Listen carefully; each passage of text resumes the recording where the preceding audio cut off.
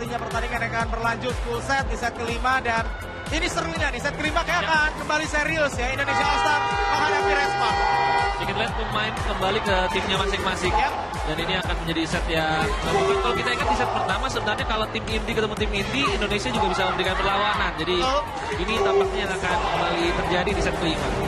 Ya kalau dari Bang Valen cukup yakin nggak kali ini di set penentuan Indonesia bisa menang lawan Red Spark? Dengan adanya entertainment games bisa dibilang begitu ya di set ketiga dan keempat paling nggak masing-masing tim pelatih tahu eh, bagaimana kelemahan dan juga kelebihan dari masing-masing lawan dan tahu bagaimana cara mainnya sementara itu ya ada Mas Menteri di sini ada dua dan Pak SBY juga.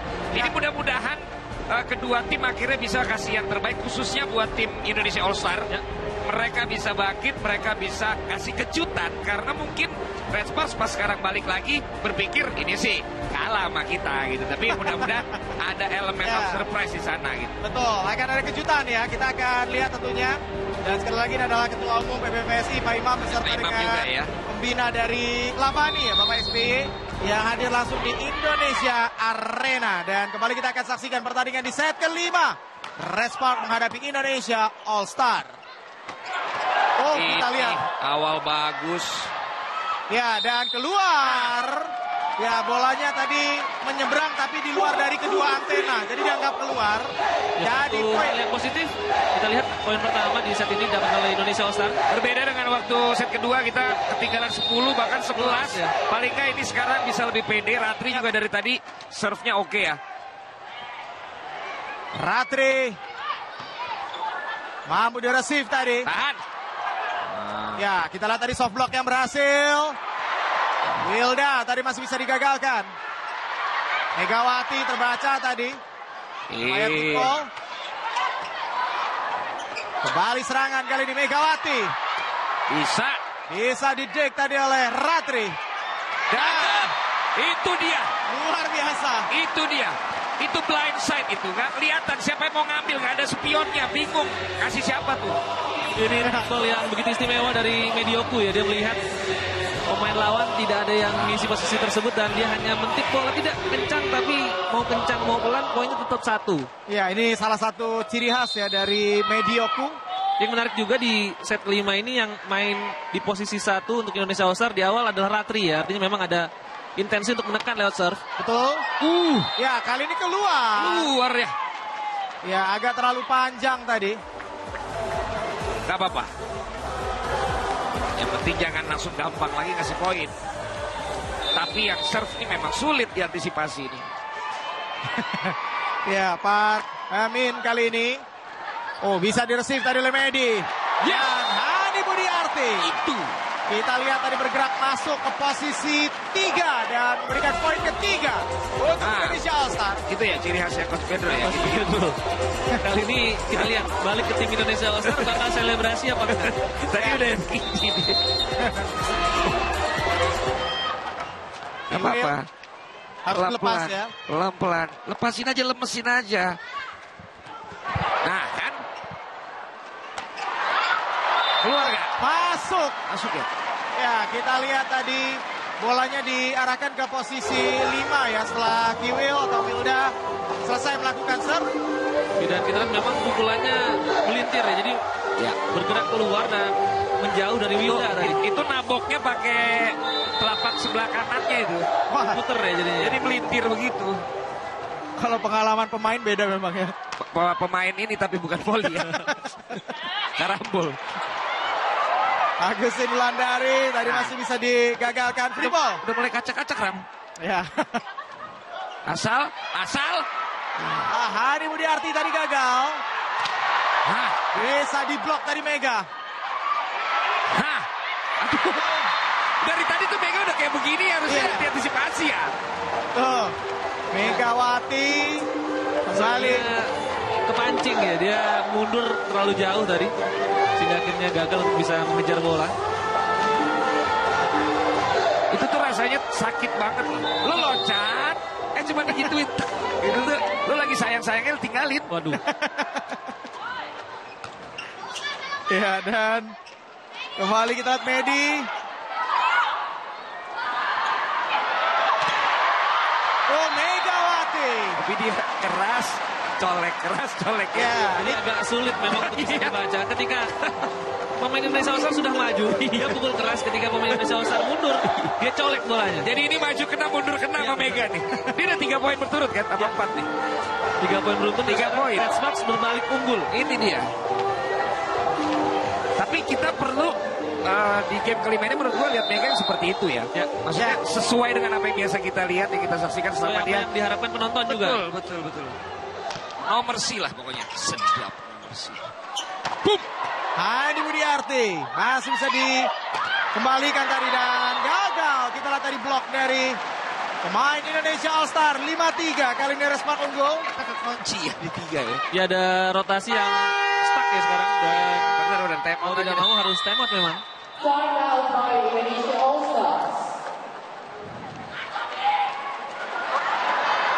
Ya, time out kita lihat diambil oleh Indonesia All. Karena sekarang udah mulai serius ya.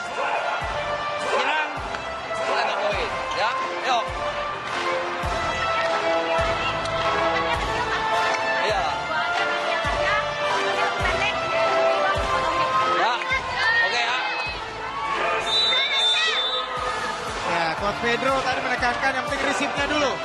Resipnya dulu, baru bisa nyerang. Yang menarik juga bukan hanya Coach Pedro yang memberikan instruksi tapi juga Wilda. Ya. Tadi kepada Hani agar opennya di dua aja karena dua kali tadi sudah Hani posisi tiga ya. Untuk ke posisi tiga dan dua-duanya bisa dihentikan.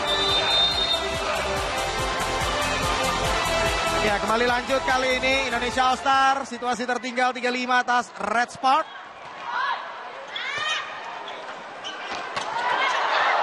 Oh, masih bisa dikembalikan.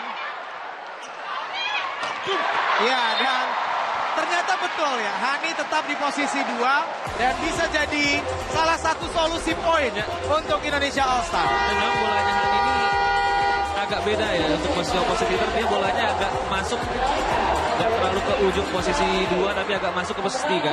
Dan kali ini pergantian center opposite. Pergantian di posisi 1 dan 4 dari Indonesia All Star. Yola Yuliana masuk menggantikan Kalisa. Sementara itu Latifa ya. Ini masuk menggantikan Hani Budiarti.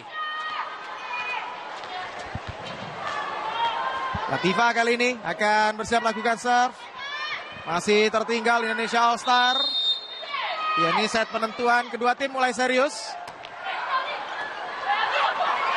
Oh, sebuah ace berhasil tadi dilakukan oleh Latifa. Indonesia All Star berhasil untuk bisa menyamakan kedudukan jadi 5-5 di set penentuan di set kelima. Dia langsung menyumbangkan poin dari servis ace tadi. Latifah Nisa yang baru masuk membuat skor kembali berimbang. Kembali serve dilakukan. Ya, dan ini keistimewaan Megawati ya. Jadi bola pertama tadi sebetulnya Respat nggak sempurna. Ya, Tapi masih bisa jadi set serangan dan inilah tugas dari opposite. Bola-bola tidak sempurna harus bisa diolah jadi poin. dan memang kalau Mega ini pukul ke ujung benar-benar ke ujung ya. Ini yang membuat akhirnya kalau main di Liga Korea bolanya sering kena muka lawan karena memang bolanya agak ngambang.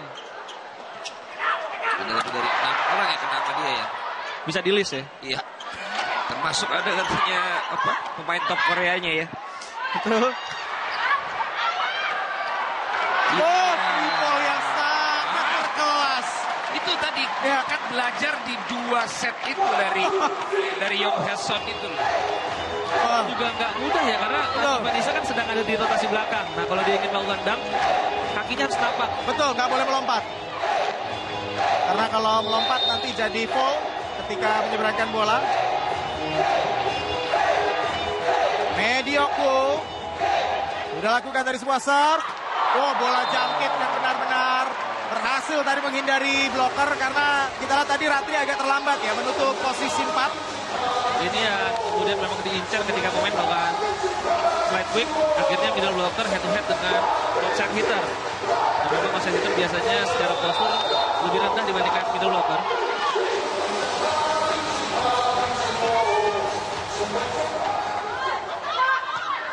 Oh Sania, tadi kita lihat penerimaan bola pertama yang kurang sempurna. Ada kesempatan serangan kali ini milik oleh Red Spark dan lagi-lagi bola jangkit yang berhasil kita lihat dilakukan oleh Park Anjin dan poin kembali dapatkan oleh Red Spark kali ini kembali membuat mereka unggul dengan 7-6 Berarti sampai 15 ya.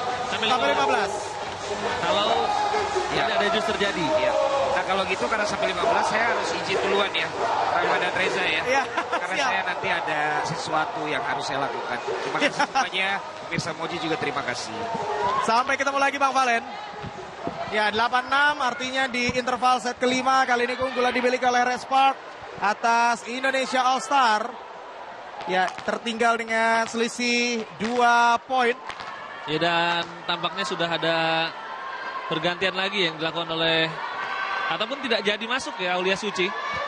Jadi sudah hampir masuk tapi tampaknya tidak jadi. Ya sudah agak terlambat ternyata. Aul yang coba dimasukkan. Kali ini sebuah float serve. Sania, receive tadi sudah dilakukan. Ratri, prospek yang berhasil. 7-8. Indonesia All Star berhasil memperkecil ketertinggalan atas Respon di set penentuan. Ratri Bocil juga mulai unjuk gigi. Kita lihat power spike yang dia miliki. Dan akhirnya masuk. Aul setelah tadi sempat gagal masuk karena terlambat. Ya dan memang ada kecenderungan Aul ini dimasukkan ketika sudah ada di rotasi depan ya. Dan kali ini kita lihat Agustin Landari akan bersiap lakukan sebuah serve pemirsa. Lot serve tadi dilakukan dan agak ragu-ragu. Kita lihat tadi bagaimana Kakson Up dan membuat Indonesia All Star mendapatkan dua poin beruntun. Berhasil untuk bisa menyamakan kedudukan menjadi 8 8. Ya bolanya agak ngambang memang tadi float serve dari Wulan. Awalnya ingin melepas tapi justru terlambat untuk melawan penerimaan. Kita melihat kali ini Agustin Ulandari. Sar tadi sudah dilakukan. Oh, dik yang sangat baik dari Medi. Dan kita lihat hanya tinggal di tip tadi oleh Yang Heson. Dan membuat Red Spark kembali memimpin dengan 9-8. Ya sayang kurang siap ya tadi. Padahal kita lihat penerimaannya sudah sedikit terlalu panjang tapi tidak ada yang bersiap untuk melawan blok dari upaya dilakukan oleh Yom Heson.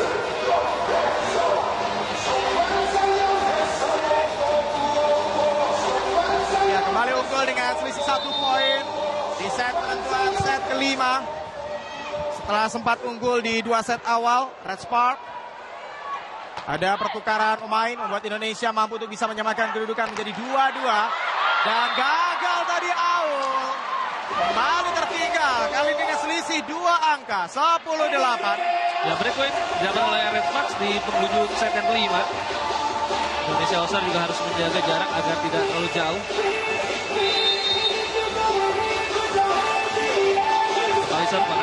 Oleh Pak Kenjin. Pemain kelahiran Gyeongsang Namdo. Aul, ya dan lagi-lagi bisa dihentikan dua kali kita lihat back to back spike yang dilepaskan oleh Aul dari posisi 4 bisa diantisipasi. Kita lihat bagaimana kualitas blok dari Jong Guyong, sang pemain tim nasional Korea Selatan.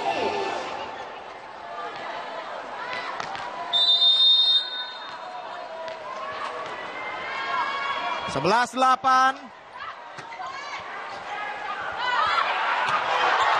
Dan kali ini kita melihat ya keluar tadi upaya dari Yola tapi akan coba di challenge karena Yola tadi cukup yakin ya ada sentuhan. Dan mau tidak mau ya ini harus di-challenge karena jaraknya mulai menjauh. Betul. Dan kalau jaraknya sudah 4 poin akan sangat sulit untuk bisa dikejar di set kelima ini. Ya ini kita akan tunggu karena mulai serius sekali lagi kedua tim untuk memainkan laga di exhibition match di set penentuan di set kelima kali ini. Ya Yola juga salah satu pemain yang pindah klub ya untuk Proliga 2024. Betul. Dia balik ke tim lamanya Jakarta Electric PLN.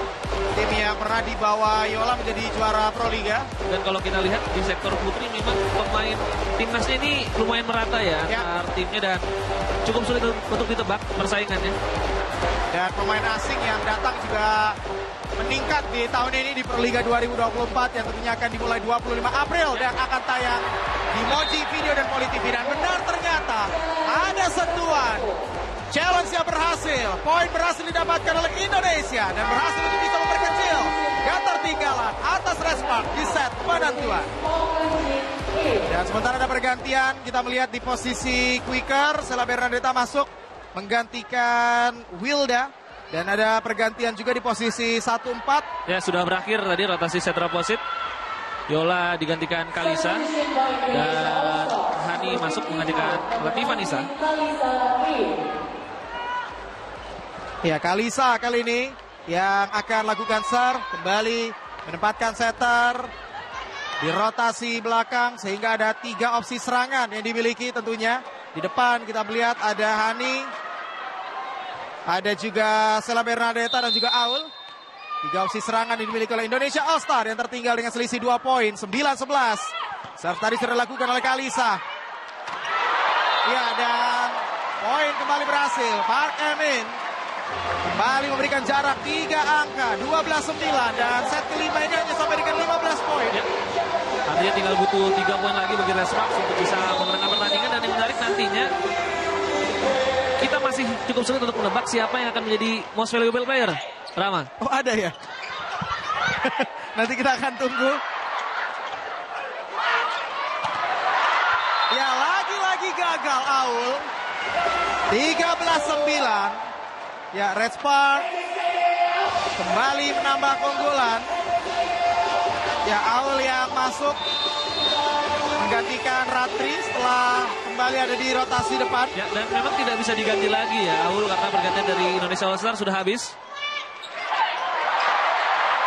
Ya, dan kita lihat tadi penempatan bola yang berhasil. Indonesia All Star berhasil untuk bisa memperkecil ketertinggalan 10 13. Ya kalau tadi kita sempat membahas Bulan dan juga Willa yang pensiun dari timnas salah satu nama yang rasanya akan menggantikan adalah Sela Bernadetta ya. Ini pemain yang juga penampilannya menanjak khususnya di akhir 2023 ketika membantu Petrokimia Betul. menjadi juara di level divisi utama.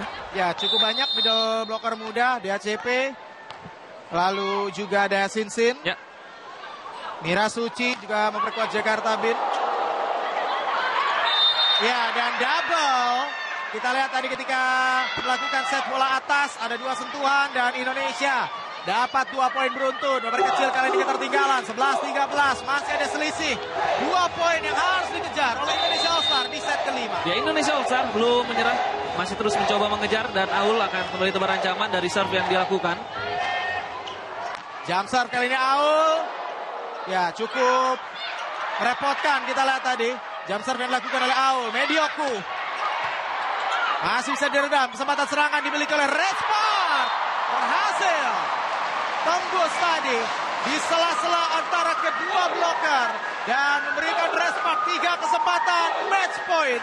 Di set kelima atas Indonesia All Star. Pak Helmin menjadi salah satu kandidat rasanya untuk menjadi MVP karena salah satu pemain yang juga tampil cukup banyak hari ini. Jadi salah satu pendulang poin terbanyak juga bagi Red Sparks. Tiga kesempatan match point. Medioku.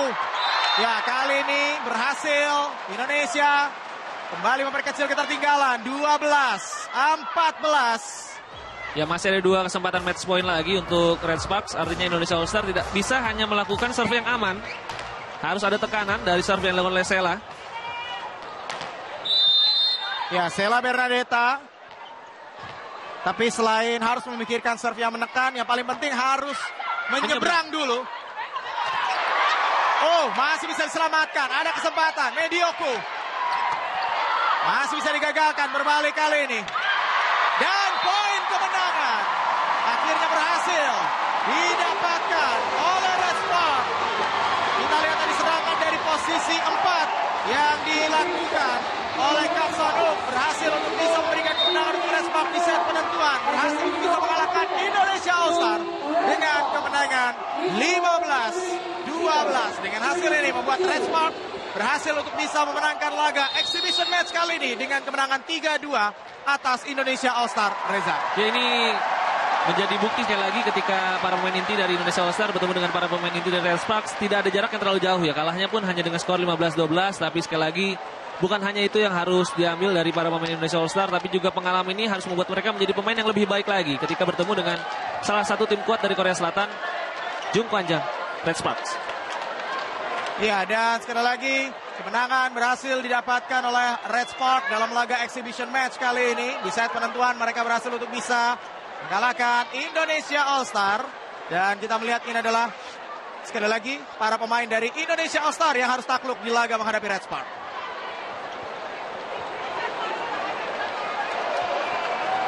Ya, dan kita lihat ini adalah pemberian hadiah yang diberikan dari pihak Spark ya. kepada Ada. Indonesia All Star, betul?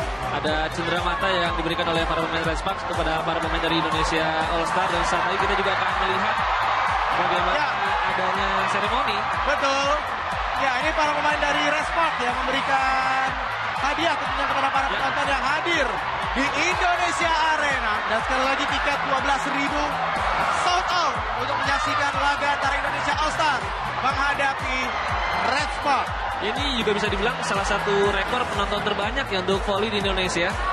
Ya, karena ini akan membuat bisa saja ke depannya Pro Liga akan diselenggarakan di sini. ya karena memang sejauh ini ya terbanyak untuk kapasitas adalah di Among Rogo Ya. dengan kapasitas 10.000 penonton dan memang selalu sold out ketika laga-laga diselenggarakan di Among Rogo Yogyakarta. Benar. Bahkan dengan kapasitas Among Rogo yang sudah 10.000 pun tidak benar-benar bisa menampung ya animo dari para pencinta voli di Indonesia. Ya, kita tinggal akan menunggu ya kapan ada kesempatan Proliga akan bermain tentunya di Indonesia Arena dan ini adalah Megawati salah satu pemain yang cukup berperan penting untuk Red Sparks. Pertandingan Red Sparks berhadapan dengan Indonesia All Star